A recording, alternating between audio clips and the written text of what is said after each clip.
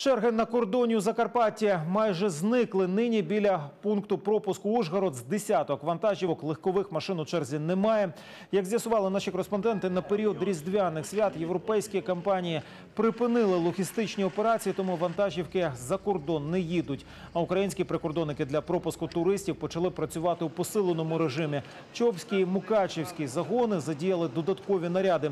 Кілька пунктів пропуску до кінця зимових свят працюватимуть цілодобово. Якщо треба, вантажну смугу пункту пропуску Ужгород прикордонники можуть використати для пропуску туристичних автобусів. В останні тижні водії вантажівок на кордоні стояли від 10 годин, а дехто і більше доби.